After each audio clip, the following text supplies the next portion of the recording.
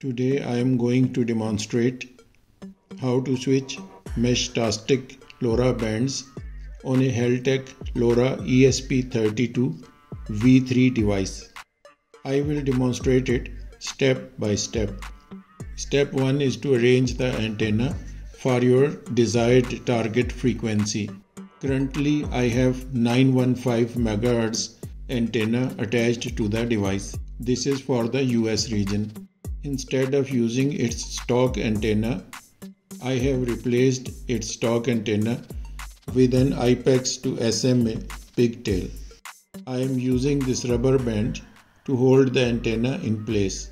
On the back side of the device, there is a small battery. I am also holding the battery with a rubber band. I am not using any glue etc as I have to change configurations frequently for my experiments. This is the J-pole antenna that I will be using for the test of EU 868 MHz band. We have built this antenna in this video. This is a dual band Baofeng antenna. It works on 2 meter and 70 centimeter that is 144 megahertz and 433 MHz. I will be using it for EU 433 test. This is Heltec tracker running Meshtastic.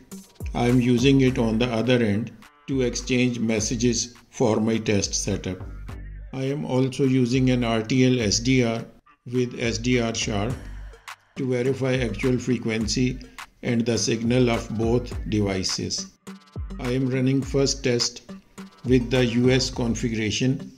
Channel has been set up with long fast and it is using frequency 902.125 MHz. You can see here signal of the both devices. You can also see the Android video of the both devices showing the message exchange.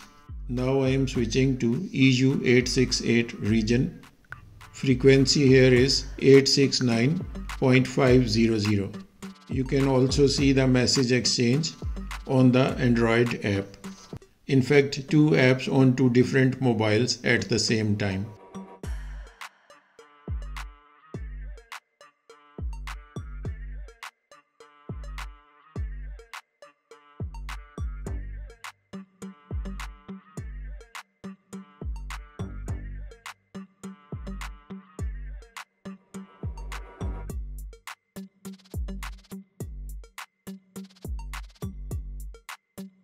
Now I am switching to EU 433 region. I have changed my SDR to 433.125 MHz. This is the channel frequency for Meshtastic long fast. Messages are exchanged between the devices